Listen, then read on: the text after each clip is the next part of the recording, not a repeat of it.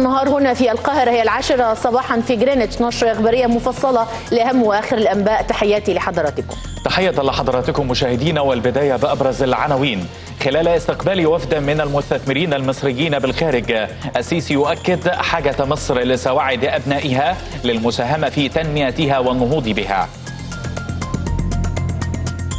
اليوم انطلاق جلسات التفاوض المباشر بين وفد الحكومة السودانية والحركات المسلحة.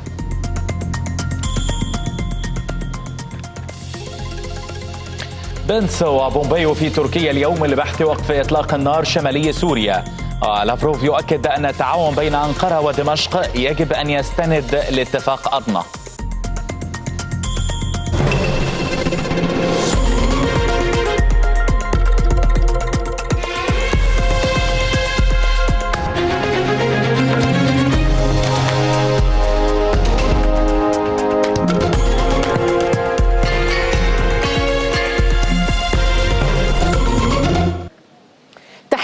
تحياتي للتفاصيل أكد الرئيس السيسي خلال استقباله لوفد من المستثمرين المصريين بالخارج حاجة مصر إلى سواعد أبنائها في الخارج والداخل للمساهمة في تنميتها وتغيير واقعها إلى الأفضل.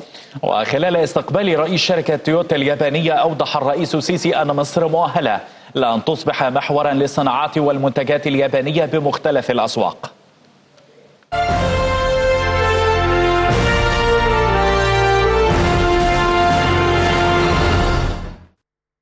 استقبل السيد الرئيس عبد الفتاح السيسي وفدا من المستثمرين المصريين بالخارج والمشاركين في النسخة الخامسة من سلسلة مؤتمرات مصر تستطيع والتي ستعقد خلال الشهر الجاري بالعاصمة الإدارية الجديدة المتحدث الرسمي باسم رئاسة الجمهورية السفير بسام راضي صرح بأن السيد الرئيس أكد خلال الاجتماع على حرص الدولة على التفاعل المباشر مع المستثمرين وقطاع الأعمال من أبناء مصر في الخارج الذين يمثلون ثروة كبيرة للوطن. وذلك للاستفادة من خبراتهم ومقترحاتهم والعمل على تدعيم الروابط بينهم وبين وطنهم الأم وإشراكهم في الجهود التي تقوم بها الدولة لبناء المستقبل والتي تتطلب إدارة دؤوبة وإرادة حقيقية واعية بالتحديات وسبل مواجهتها. كما أكد السيد الرئيس اهتمام الدولة بتحفيز الاستثمار وتحقيق التنمية المستدامة بجميع مجالاتها وكذا إعداد الخطط المستقبلية وفقا لرؤية مصر 2030 كما استقبل السيد الرئيس عبد الفتاح السيسي السيد إيشيرو كاشيتاني رئيس شركة تويوتا تسوشو اليابانية. وذلك بحضور الدكتور محمد شاكر وزير الكهرباء والطاقة المتجددة وعدد من كبار المسؤولين بشركة تويوتا بالإضافة إلى السيد ماساكي نوكي سفير اليابان بالقاهرة. السيد الرئيس أشاد بقوة العلاقات المصرية اليابانية وتميزها مؤكدا حرص مصر على مواصلة تطوير وتعزيز تلك العلاقات في مختلف المجالات والبناء على النتائج الإيجابية التي تحققت خلال زيارتي السيد الرئيس لليابان في شهري يونيو وأغسطس خلال العام الجاري مشيدا في هذا السياق بنشاط شركة تويوتا الممتد في مصر على مدار عقود وتوافر العديد من الفرص الاستثمارية للتوسع في أنشطة أنشطتها وذلك في ضوء تطلع الشركة للاستفادة من الفرص الواعدة التي يتيحها الاقتصاد المصري مشيرا في هذا الصدد إلى أن حجم استثمارات الشركة في مصر يبلغ نحو مليار دولار في قطاعات أبرزها الطاقة والبترول ووسائل النقل العام ولها عدة مشروعات في مجال توليد الكهرباء من طاقة الرياح ومشروعات الحفر والتنقيب عن البترول.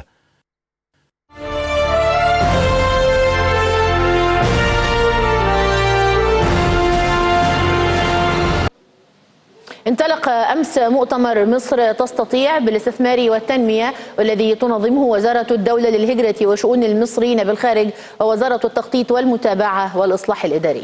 ويشمل المؤتمر انعقاد 11 جلسة على مدار يومين. تحت رعاية الرئيس عبد الفتاح السيسي انطلقت بمركز المنارة للمؤتمرات الدولية فعاليات مؤتمر مصر تستطيع بالاستثمار والتنمية. والذي تنظمه وزارة الهجرة وشؤون المصريين بالخارج بالتعاون مع وزارة التخطيط والمتابعة والإصلاح الإداري بمشاركة نخبة من رجال الأعمال الخبراء والمستثمرين المصريين بالخارج. مؤتمر مهم جدا لأنه بيجمع ناس عديدة وأفكار عديدة من دول عديدة وكلهم مصريين يجمعهم حاجة واحدة اللي هو حب البلد والرغبة في إن إحنا نديها اللي إحنا عايزينه ونديها اللي هي تستحقه ونرد لها الجميل اللي هي ادته لنا قبل كده. ووجود السادة الوزراء معانا ووجود السيد الرئيس النهارده في اللقاء بيذلل عقبات كتيرة قوي بتعترض الناس اللي هي جاية تستثمر في مصر. عملت منظومة لتطوير الطاقة والتنمية المستدامة و strategic approach أو مقاربة استراتيجية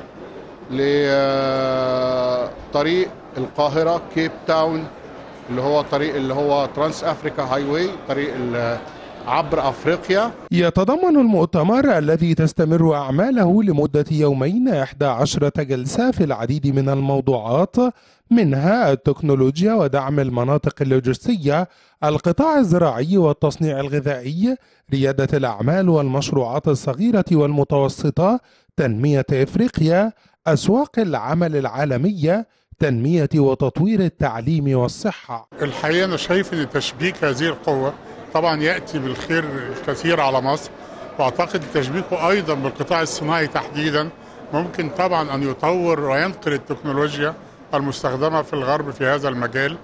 وطبعا العالم قفز قفزات سريعة جدا وأنا شايف ما شاء الله الحضور اللي موجود ناس أعتقد ان هم أعلام في مجالاتهم وفي دول مختلفة. حقيقة الدولة بتقوم بدور هام جدا دلوقتي عشان الاستثمار والتنمية. وحضرتكم على علم بالمجهود اللي اتعمل في مؤتمرات مصر تستطيع خلال المؤتمر تم تكريم عدد من الرموز المصرية الناجحة بالخارج بعد عرض تجاربهم المتميزة في العديد من المجالات من أجل دعم التواجد المصري على خريطة الاستثمار العالمية والترويج لخريطة مصر الاستثمارية في إطار خطة التنمية المستدامة 2030 بالطبع مصر تستطيع مؤتمر وطني طموح يروي قصص النجاح والتجارب الإيجابية لطيور مصر المهاجرة من رجال الأعمال في كافة المجالات. من أجل رسم الطريق وبلورة الرؤى لتحقيق التنمية الاقتصادية الشاملة. عبر التعاون تبادل الخبرات والتسويق الجيد للإمكانيات والفرص الواعدة للاستثمار في مصر. ياسين سيف النيل. تعقد الدورة الخامسة للمؤتمر الوطني لعلماء وخبراء مصر في الخارج تحت رعاية السيد الرئيس عبد الفتاح السيسي بعنوان مصر تستطيع بالاستثمار والتنمية. يشارك في المؤتمر 65 من أكبر المستثمرين المصريين بالخارج إضافة إلى ممثلي الوزارات المعنية ورؤساء كبرى الشركات ومنظمات المجتمع المدني. شعار الدورة الخامسة للمؤتمر أضاف علامة ما لا نهاية للدلالة على أن عمليات الاستثمار والتنمية من النشاطات الإنسانية المستمرة بلا نهاية في كل عصر وزمان يهدف المؤتمر إلى دمج دور المستثمرين المصريين بالخارج في جهود التنمية ضمن إطار استراتيجية الحكومة 2030 تتضمن أجندة المؤتمر 11 جلسة أبرزها المرأة المصرية في الخارج والاستثمار في التعليم والصحة وريادة الأعمال والمشروعات الصغيرة والمتوسطة. يستعرض المؤتمر التجارب الناجحة وآلية تطبيقها في مصر وربط المستثمرين بالخارج بالوزارات المعنية لتحقيق المنفعة المشتركة. كما يناقش المؤتمر دعم التواجد المصري على خارطة الاستثمار العالمية بجانب الترويج لخارطة مصر الاستثمارية في القطاعات الواعدة. يولي المؤتمر الأهمية للترويج للاستثمار في العنصر البشري في ظل وضع القيادة السياسية أولوية للاستثمار في الصحة والتعليم. يعد المؤتمر منصة لحشد جهود المستثمرين المصريين بالخارج للاستثمار في إفريقيا في ظل تولي الرئيس عبد الفتاح السيسي رئاسة الاتحاد الإفريقي.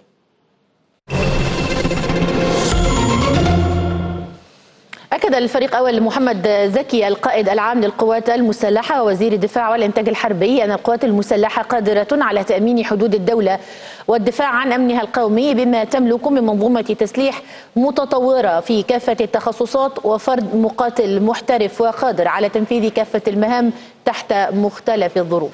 جاء ذلك خلال حضور القائد العام للقوات المسلحة وزير الدفاع والإنتاج الحربي المرحلة الرئيسة للمناورة رعد 31 مع الرماية بالذخيرة الحية.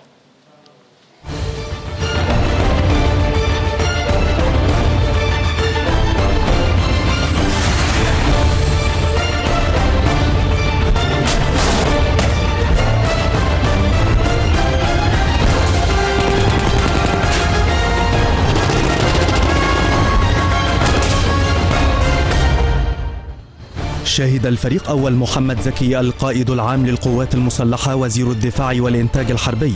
المرحلة الرئيسية للمناورة رعد 31 مع الرماية بالذخيرة الحية والتي تنفذها وحدات من المنطقة الغربية العسكرية بالتعاون مع الأفرع الرئيسية للقوات المسلحة والتي تستمر لعدة أيام في إطار خطة التدريب القتالي لتشكيلات ووحدات القوات المسلحة وتزامنا مع احتفالات مصر والقوات المسلحة بالذكرى السادسة والأربعين. لانتصارات أكتوبر المجيدة بدأت المرحلة بعرض ملخص للفكرة التكتيكية لمراحل المناورة كما تضمنت المرحلة إدارة أعمال القتال لتطوير الهجوم ومعاونة عناصر من القوات الجوية التي نفذت طلعات للاستطلاع والتأمين والمعاونة لدعم أعمال قتال القوات القائمة بالهجوم وتحت ستر الوقاية المحققة لوسائل وأسلحة الدفاع الجوي.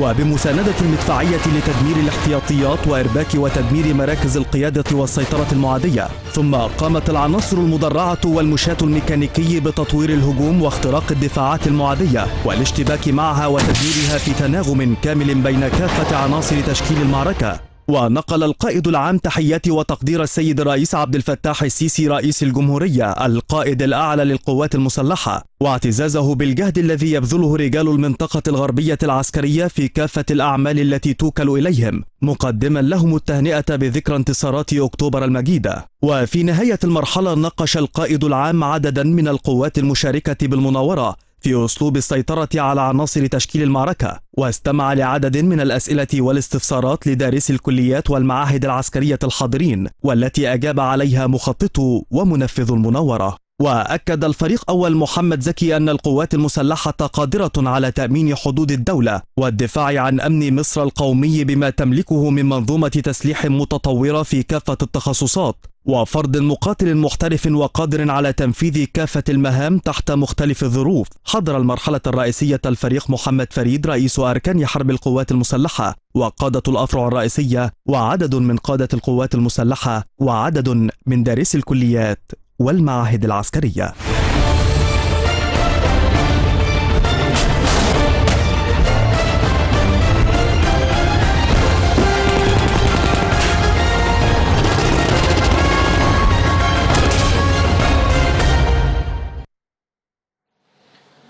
وللمزيد من المتابعة ينضم إلينا من مقر مؤتمر من مقر انعقاد مؤتمر مصر تستطيع من مركز المنارة الزميل ياسين سيف.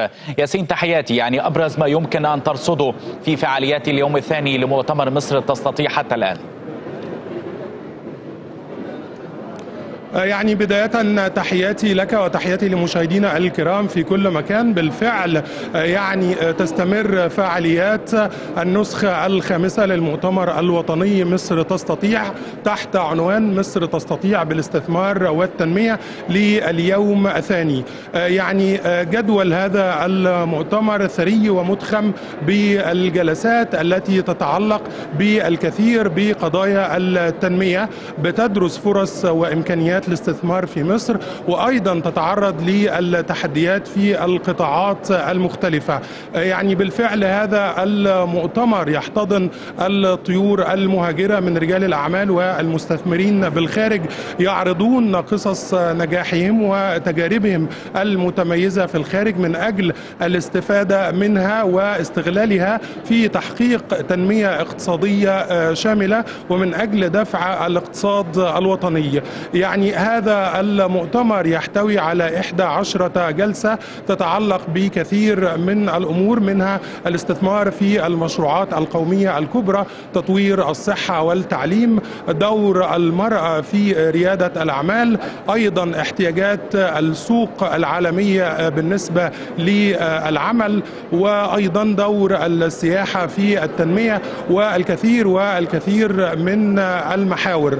يعني كل جلسة يشارك فيها الوزير المختص برفقة الخبراء ورجال الأعمال والمتخصصين من المصريين العاملين بالخارج الذين يعني أتوا بعد عقود من سفرهم إلى الخارج يعرضون تجاربهم وأيضا يعني آه، ظاهرة حب آه، للوطن يعودون مرة أخرى من أجل الاستثمار في مصر ومن أجل آه، تشجيع الاستثمار في مصر. يعني معي على الهواء الدكتور ماجد تدرس أحد المشاركين في جلسات مؤتمر مصر تستطيع بالاستثمار والتنمية. بنرحب بحضرتك على شاشة قناة النيل الأخبار. أهلا وسهلا. أهلا بيكم. كلمنا يا فندم عن مشاركة حضرتك في إحدى جلسات المؤتمر وكيفية الاستفادة وبلورة آه، يعني رؤى ورسم طريق جديد للاستثمار والتنمية في مصر آه، بمساعدة الطيور المهاجرة وخبرائنا المصريين بالخارج. طبعا إحنا يعني سعداء جدا جدا بوجودنا النهارده في ال- الكونفرنس بتاع مصر تستطيع لأنه ده حاجة بتبين اولا حبنا لمصر بتبين قد إيه إحنا مرتبطين ببلدنا وبنساعدها وبنحاول نقدم أي حاجة في إيدينا إن إحنا نقدر آه، نقدمها هنا. آه، المؤتمر نفسه فيه حاجات كتيرة جدا بتساعد وبتقدم فرص آه، سواء للاستثمار الخارجي إن الناس تيجي من بره وت- وت- وتستعمل مشاريع هنا دايركتلي أو آه، مشاريع جوه البلد نفسها محتاجة آه، بعض من المعلومات أو التكنولوجيا الخارجية اللي هي آه، محتاجين نزودها على المشاريع الموجودة حاليا. آه، في الحالتين ال ال إحنا mainly بنشتغل علشان خاطر البلد تتقدم لقدام ونزود فرص الاستثمار ونزود برضو الاقتصاد إن هو يتقدم بشكل آه، كبير. المؤتمر قدم يعني بصراحة sessions مختلفة لحاجات كتيرة جدا ومن ضمنها استثمار في أفريقيا الاستثمار في التكنولوجيا آه، استثمار في مجالات مختلفة جدا الدولة بتقوم بيها المشروعات الكبرى آه، من ضمن الحاجات برضو. آه، كل الاستثمارات اللي اللي اتكلموا عليها هنا دي آه، بيحطوا لها آه، يعني آه، زي بلاتفورم زي طريق كده ووقت زمني لل- للتخطيط والتنفيذ بتاعها. يعني إحنا إحنا شخصيا استفدنا جدا جدا واعتقد إنه في خلال السنين اللي جاية المؤتمرات اللي زي كده هتبقى ليها تأثير قوي جدا على الاقتصاد وعلى الشعب نفسه هيحس بال- بالتأثير ده من خلال المشروعات اللي بتتعمل دي. طب يا فندم يعني من خلال تواجد حضرتك بالخارج والاحتكاكات باقتصاديات كبرى في الخارج يعني رؤية حضرتك هل في تفاؤل كبير لتحقيق تنمية اقتصادية شاملة في مصر وتحقيق دفع كامل للاقتصاد الوطني حضرتك شايف إيه؟ بص هو مصر يعني من مش مش كلام أنا بس اللي بيقول كده ده كلام خبراء عالميين في صناديق ده نقد صناديق البنك الدولي في منظمات زي بلومبرج في حاجات كتيرة جدا. كلهم بيقولوا إن مصر من الدول الصاعدة القوية جدا جدا اللي هيبقى الاقتصاد بتاعها من أقوى الاقتصاديات في خلال ال 10 ل 15 سنة الجايين. آه، ما اعتقدش انه كل المصريين اللي حضرتك شفتهم النهارده هنا دول وفي آه، يعني مئات الاضعاف بره نفسهم يجي.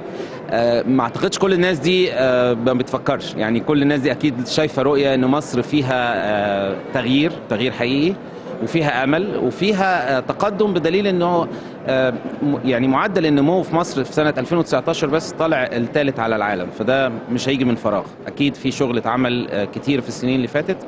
آه، وفي شغل تاني لسه بيتعمل وفي حاجات كتيرة لسه في في المستقبل. آه، أنا أنا رأيي الشخصي وأعتقد رأي كتير من الناس الموجودة في المؤتمر اللي أنا اتكلمت معاهم إنه مصر one of the most promising يعني أكتر من أكتر الدول ال- الواعدة في الاقتصاد. آه، شعبها طبعا آه، متميز جدا في نسبة شباب عالية جدا. 100 مليون بني آدم موجودين في استهلاك برضو عالي آه، في بوابة لأفريقيا في حاجات كتيرة جدا تقدر تقول إنه آه، مصر داخلة على مرحلة اقتصادية قوية جدا. هي بس عايزة شوية يمكن صبر وتخطيط مظبوط وده اوريدي ابتدى آه، في المؤتمرات اللي زي كده.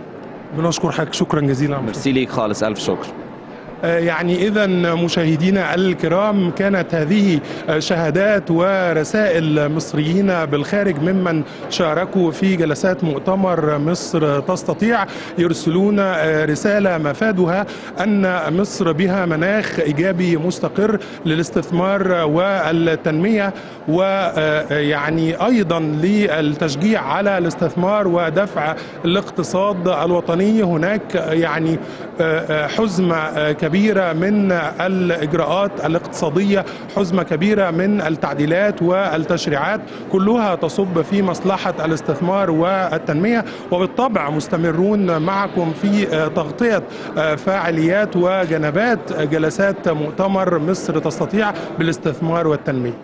أشكرك جدا الزميل ياسين سيف من مقر انعقاد مؤتمر مصر تستطيع. شكرا جزيلا.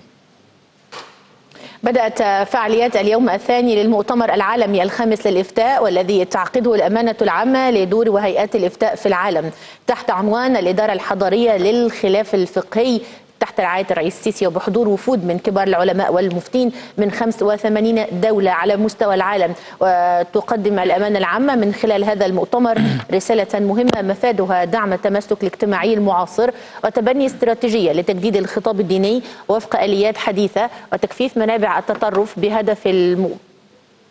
بهدف التفاعل داخل هذا المؤتمر والذي يهدف لتقديم نموذج إفتائي يعتمد على تقديم منهجية تسعى إلى الإسهام في حل المشكلات ودعم الاستقرار.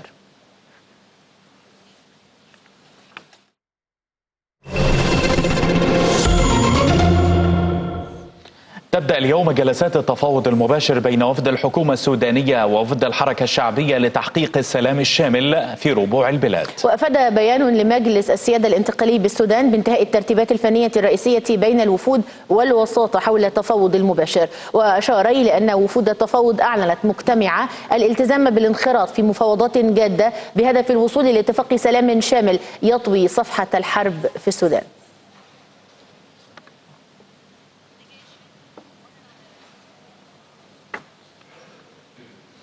متابعة أكثر عبر الهاتف دكتور صلاح حليم عضو المجلس المصري للشؤون الإفريقية. دكتور صلاح تحياتي لك. تحياتي لحضرتك وللسادة المشاهدين. ما الجديد هذه المرة؟ يعني هذه ليست المرة الأولى التي يجلس فيها الطرفان على مائدة مفاوضات على اختلاف من جلس يعني أو الحكومة السابقة والتغير الذي حدث في السودان. ولكن ما الجديد هذه المرة في الجلوس على مائدة مفاوضات بين الجانبين؟ واقع الأمر هذا هذه الجولة هي الجولة الثانية التي تعقد في جوبا عاصمة جنوب السودان. أيضا هي حلقة في سلسلة من المفاوضات بدأت في أثيوبيا في عاصمة أثيوبيا أديس أبابا ثم انتقلت إلى القاهرة ثم الآن في جوبا. فهناك مشاركة ثلاثية من جانب الدول الثلاث فيما يتعلق بهذه المفاوضات.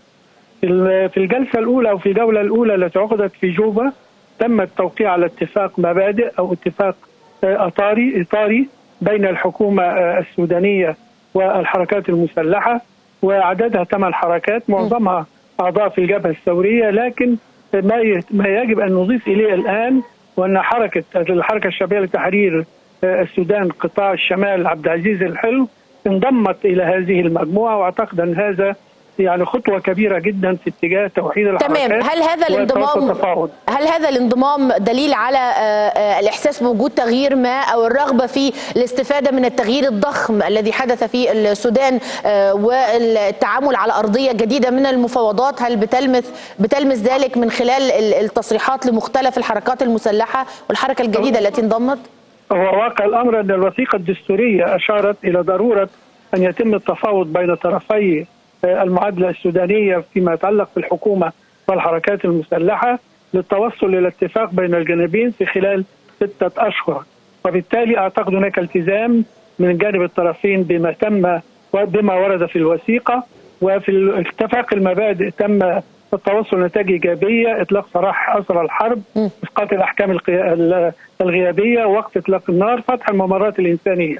أعتقد هذه الجولة في غاية الأهمية لأنها تبحث عن في ملف السلام الشامل وهناك ثلاث ملفات أساسية ملف أمني وملف سياسي وملف إنساني. الملف الامني الأمني يتعلق بإعادة هيكلة الجيش السوداني و وكجزء من المنظومة العسكرية وإجراء ترتيبات أمنية. أيضا فيما يتعلق بالاتفاق السياسي وتسكين الحركات الثورية وتسمى الآن حركة ثوريه وليست حركات تمرد في مؤسسات وهياكل الحكم الانتقالي الذي تم التوصل إليه عبر الوثيقة الدستورية. أما فيما يتعلق بالملف الإنساني فهو ملف يتعلق باللاجئين والنازحين ومعالجة قضاياهم على النحو المنشود.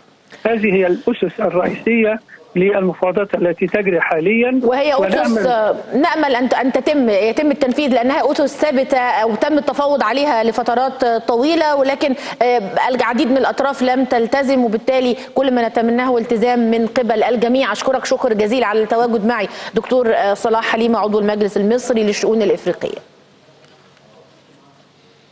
بحث الرئيس الروسي فلاديمير بوتين في اتصال هاتفي مع نظيره التركي راجب طيب أردوغان النزاع في سوريا ودعاه لزيارة روسيا خلال الأيام القادمة. في الوقت نفسه أكد وزير الخارجية الروسي سيرجي لافروف أن موسكو ستشجع الحكومة السورية والقوات الكردية على إبرام اتفاقات وتنفيذها في أعقاب العملية العسكرية التركية شمال شرق سوريا بناء على اتفاق أضنا وقال لافروف في تصريحات إعلامية إن العملية التركية سمحت لسجناء من تنظيم تنظيم داعش بالفرار والانتشار في أرجاء العالم مشيرا إلى أن الدول التي توفر ملاذا للمتشددين الذين يغادرون سوريا يجب أن تتحمل المسؤولية عن أفعالهم. أعلن مسؤول بوزارة الدفاع الأمريكية أن بلاده ترغب في مواصلة التعاون مع المقاتلين الأكراد. في قوات سوريا الديمقراطية في الحرب ضد داعش حتى مع عدم وجود قوات أمريكية في شمال شرقي سوريا تزامنا أعلن الرئيس الأمريكي ترامب أن نائبه مايك بينس ووزير ووزير الخارجية مايك بومبيو سيتوجهان اليوم إلى تركيا لإجراء مفاوضات بشأن وقف إطلاق نار في شمال سوريا Mike is getting ready to make a big trip. He'll be leaving tomorrow. مايك بينس جاهز للسفر إلى تركيا برفقة وزير الخارجية بومبيو نرغب في إعادة جنودنا إلى الوطن. ستتركز المفاوضات على مطالبة أنقرة بوقف إطلاق النار في شمالي سوريا. لقد فرضنا أقصى عقوبات على تركيا يمكن تخيلها. ومع ذلك لدينا عقوبات اقتصادية أخرى.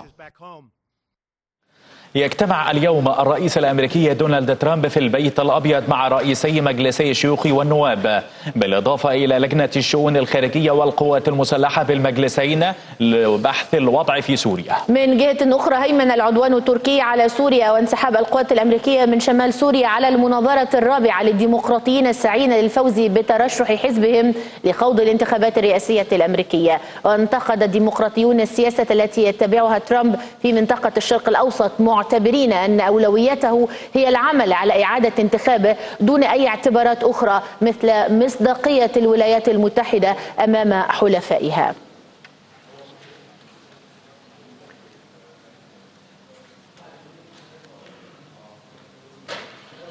هذه لقطات حية على الهواء مباشرة من مواقع الأحداث في الشمال السوري للقصف الذي تم من قبل القوات التركية. وكما نعلم أن الجيش السوري قام بالتواجد خلال الأيام الماضية بعد اتفاق مع الأكراد لتوجه الجيش السوري. وأعلن بالأمس السيطرة الكاملة على منبج وعلى مجموعة من الجسور وأيضا مجموعة من النقاط المهمة مهمة بعد أن كانت القوات التركية قد أعلنت السيطرة عليها.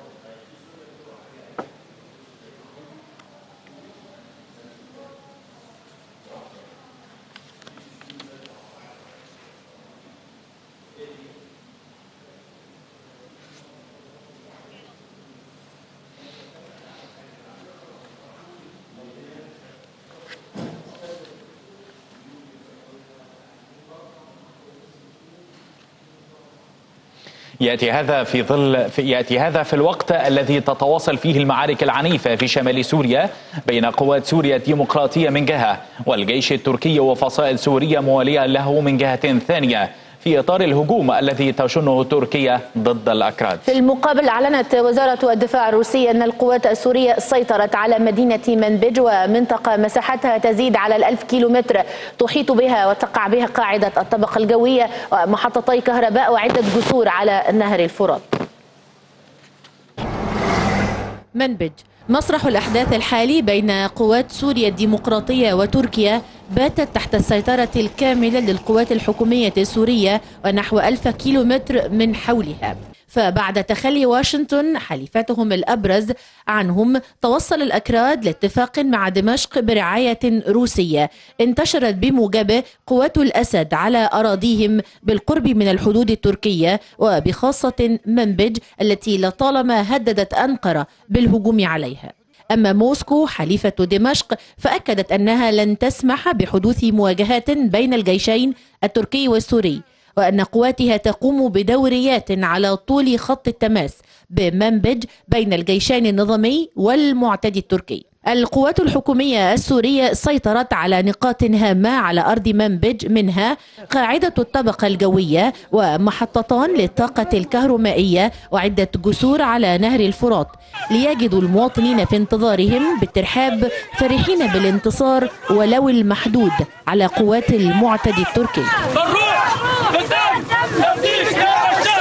مبروك النصر. مبروك النصر على الأعداء. مبروك النصر على العدوان. مبروك النصر على العدوان. نعم. مبروك على أعداء. يسقط أردوغان. يسقط أردوغان. يسقط الطيان. يسقط أردوغان. فرحة المواطنين الأكراد مبررها منطقي فارتمائهم في أحضان قوات الرئيس الشرعي الأسد منطقية بالنظر إلى ما يتواتر من الجانب التركي المعتدي من تصريحات تطال الاتفاق بين الأكراد ودمشق وتتهمهم بالخضوع لسلطة الأسد. وكأن الاتفاق بين الأكراد ودمشق قد أصاب الجانب التركي بسيل من التصريحات التي لا تخرج إلا ممن يفتقدون النضج السياسي. وللمزيد من المتابعة ينضم إلينا عبر الهاتف الدكتور علي مقصود الخبير العسكري والاستراتيجي. دكتور تحياتي أهلا وسهلا. تحية لكم وللسادة المشاهدين الأكارم. يعني دكتور يعني كيف ترى التدخل الروسي في تشجيع التعاون الأمني بين سوريا وتركيا على الحدود المشتركة؟ يعني وكيف تصف التصريحات الأمريكية والروسية فيما يتعلق بالعدوان التركي على سوريا هذه الآونة؟ اولا بالحديث عن التدخل الروسي ونشر نعم دكتور. دكتور علي. طيب. إذا فقدنا الاتصال بالدكتور علي مقصود المحلل العسكري والاستراتيجية. ونتواصل مع حضراتكم في عرض الأنباء حيث أكدت المتحدثة باسم وزارة الخارجية الأمريكية عزم الولايات المتحدة الأمريكية على تأمين حرية الملاحة. في مضيق هرمز وأعربت المتحدثة الأمريكية عن تضامن بلادها مع دولة الإمارات العربية المتحدة والشركاء الخليجيين في مواجهة العدوان الإيراني. جاء ذلك خلال لقاء وزير وكيل وزارة الخارجية الأمريكية للشؤون السياسية ديفيد هيل ضمن زيارته لدولة الإمارات العربية المتحدة مع كبار المسؤولين الحكوميين هناك.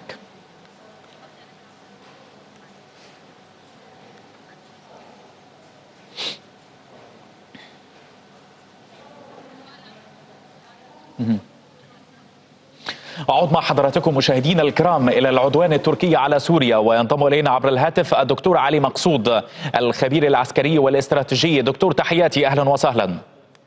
تحية لكم وللسادة المشاهدين الكرام. ما تراه على صعيد التدخل العسكري التركي الغاشم على سوريا هذه الآونة؟ نعم. لا شك بأن العدوان التركي بدأت ملامح هزيمته تبدو جلية وواضحة بعد هذا الانتشار من قبل الجيش العربي السوري وخاصة عندما سيطر ودخل مدينة منبج وسيطر على عدة مواقع حيوية كالطاقة وعدة سدود وأيضا القاعدة العسكرية في الطبقة. فهذه التحولات التي ترافقت أيضا بوصول طلائع الجيش ودخوله إلى مركز مدينة الرقة إلى دوار الساحة المحاطة بمديرية التربية ومركز المحافظة والمالية وساحة الرئيس حافظ الأسد. فهذه التطورات سمحت للروس بأن يستكمل موقفه السياسي الذي نشر شرطة عسكرية بين الجيش السوري والوحدات التي تقاتل بقيادة تركية. وأنا بتقديري هذه التحولات تشي وتفصح عن أن مسار هذه العمليات سيتوقف بالنسبة إلى العدوان التركي بعد هذا التلاحم الشعبي وأيضا هذا الاتفاق الذي حصل مع قيادة قوات سوريا الديمقراطية لدخول مدينة منبج التي كانت هي مركز الاستقطاب في المواجهة بين الأتراك وقسد.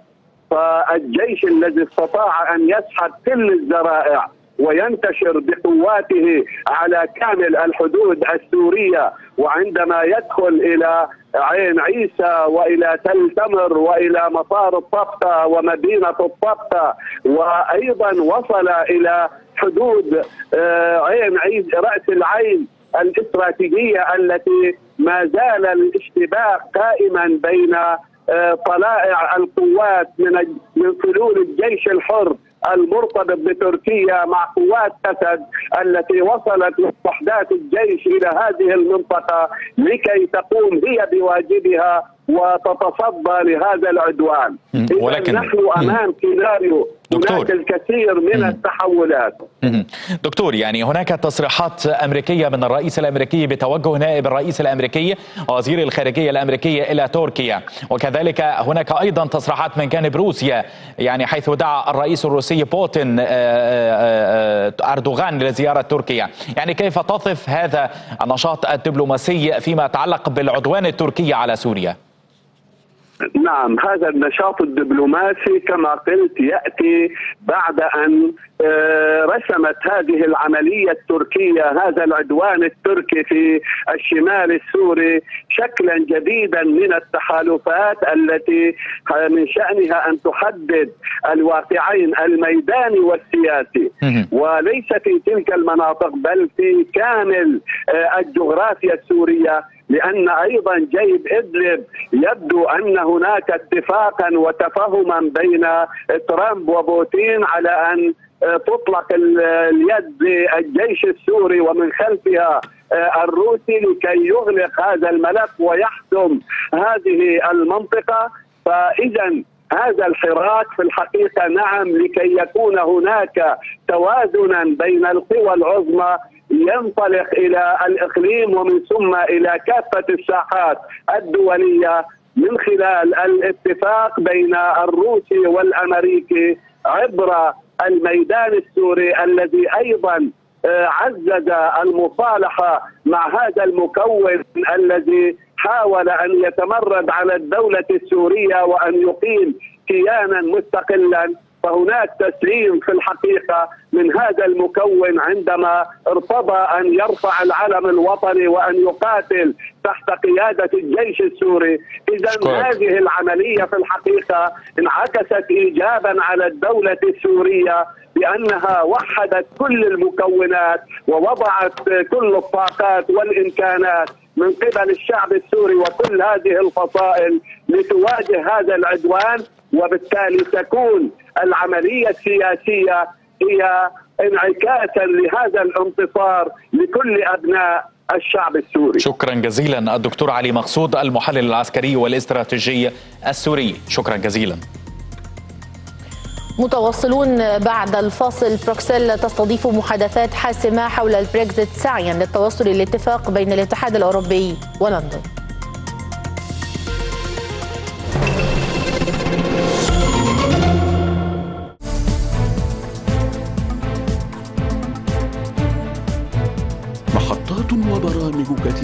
حولنا. الأهداف مختلفة والمصالح متشابكة وبينهما تبدو الصورة مشوشة.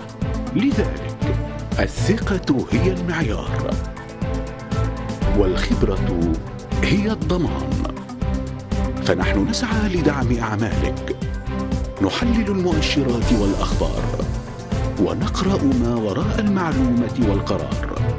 من أجلك أنت نلتزم الدقة. ليبقى مؤشر النيل الأقرب إليك.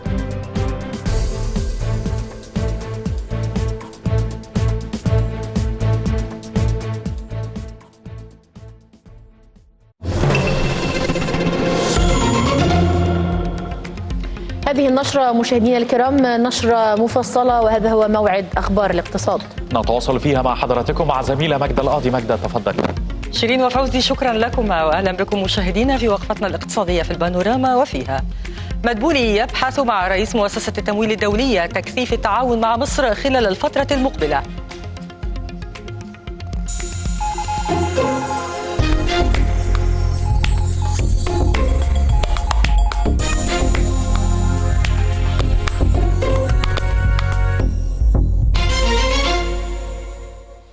أهلا بكم مجددا.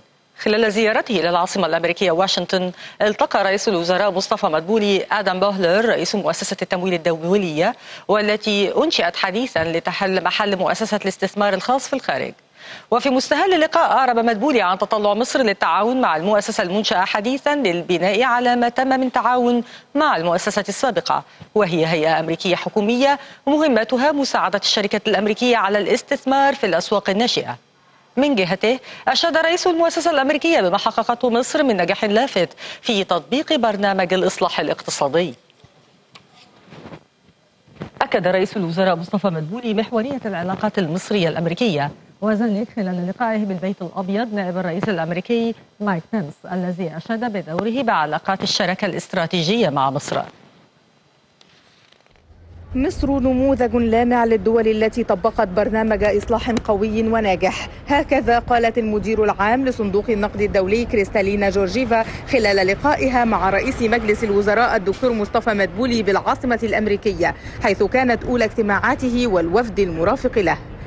وقد نقل الدكتور مدبولي إلى جورجيفا تأكيد الرئيس السيسي على تطلع مصر لاستمرار العلاقات التعاون مع الصندوق الدولي للحفاظ على مكتسبات برنامج الإصلاح الاقتصادي مشيرا إلى عمل الحكومة لتعزيز مشاركة القطاع الخاص في جهود التنمية والبناء والإنتاج متطرقا إلى الحوافز والإصلاحات التي تمت في القطاع الصناعي. نائب الرئيس الأمريكي مايك بنس استقبل رئيس الوزراء الدكتور مدبولي في البيت الأبيض وأشار بنس إلى زيارته هذا الأسبوع إلى تركيا لإيجاد حل للمشكلة التي تسببت فيها دخول القوات التركية للأراضي السورية. ومن جانبه أكد الدكتور مدبولي موقف مصر الثابت من رفض أي انتهاك للأراضي السورية وإدانة العدوان التركي. كما تطرق اللقاء إلى التطورات السلبية الأخيرة في ملف سد النهضة. فعاليات زيارة رئيس الوزراء في أول أيام زيارته إلى واشنطن تضمنت أيضا لقاءه مع وزير الطاقة الأمريكي ريك بيري الذي أكد تشجيع الشركات الأمريكية على الاستثمار في مصر. من واشنطن إيمان التوني النيل. في اتنين ونص عادي. مشاهدينا نهاية أخبار الاقتصاد في البانوراما وعودة للقراءة السياسية مع الزملاء شيرين قشيري وفوزي جد الله فإليهما. أشكرك الزميلة مجد القاضي ونستكمل مع حضراتكم مشاهدينا بقية عرض الأنباء حيث استؤنفت اليوم محادثات حاسمة في بروكسل حول بريكزيت لمحاولة التوصل لاتفاق بين الاتحاد الأوروبي ولندن. واعتبر المفاوضون أنه بات من الممكن أن يعقد قبل القمة الأوروبية المزمع انعقادها الخميس. وكان كبير مفاوضي الاتحاد الأوروبي حول البريكزيت ميشيل بارنييه قد أعرب عن تفاؤله من احتمال التوصل لاتفاق خلال الأسبوع الجاري.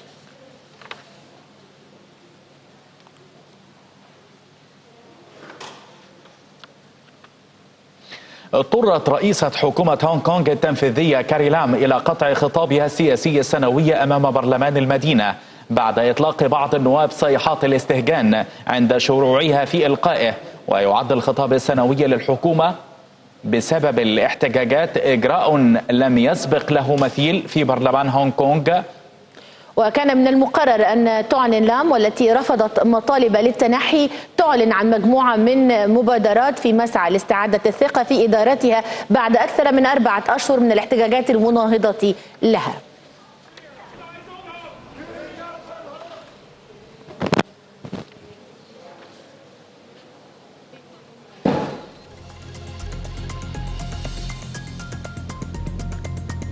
بانوراما نيل تتواصل مع حضراتكم مشاهدينا وفيها أيضا ولكن بعد قليل مع اقتراب فصل الشتاء متطوعون بولنديون يوجهون الخيول البرية لمناطق أكثر ارتفاعا حفاظا عليها.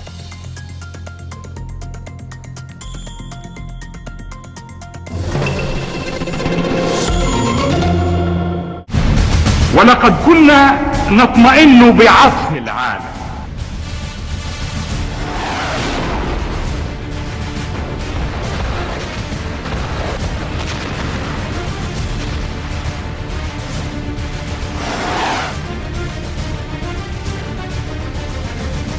نحن الآن نعتز باحترامه وأقول لكم بصدق وأمانة أنني أفضل احترام العالم ولو بغير عطف على عطف العالم إذا كان بغير احترام.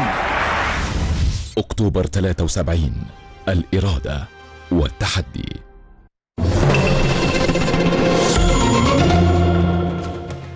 ومشاهدينا الكرام حان الآن في هذه النشرة المفصلة وقفة الرياضة.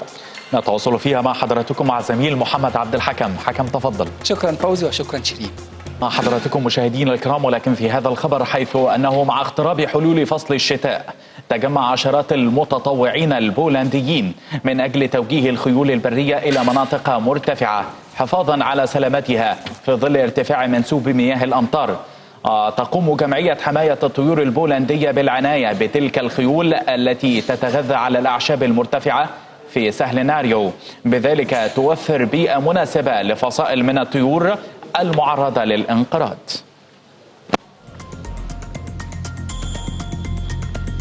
ومشاهدينا الكرام إلى حضراتكم في ختام هذه النشرة تذكرة بأهم ما جاء فيها من عناوين.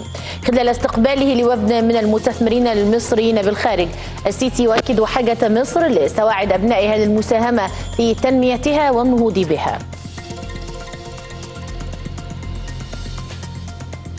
اليوم انطلاق جلسات التفاوض المباشر بين وفد الحكومة السودانية والحركات المسلحة. بنس وبومبيو في تركيا اليوم لبحث وقف إطلاق النار. شمال سوريا ولافروف يؤكد أن التعاون بين أنقرة ودمشق يجب أن يستند لاتفاق اضنا